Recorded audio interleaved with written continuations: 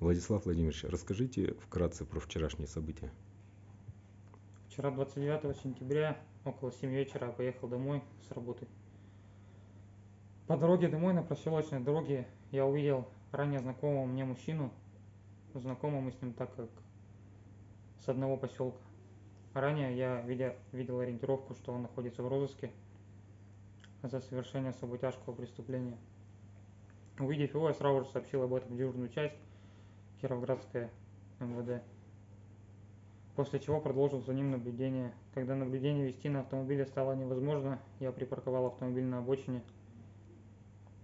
и продолжил за ним наблюдение пешком. Увидев меня, мужчина ускорил шаг.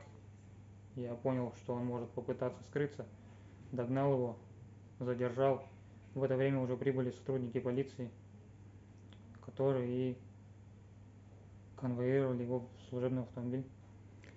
Владислав Владимирович, а не страшно было задерживать? Ведь он мог быть вооружен, а у вас семья, ребенок. Но задерживать было не страшно. Был уверен, что я справлюсь.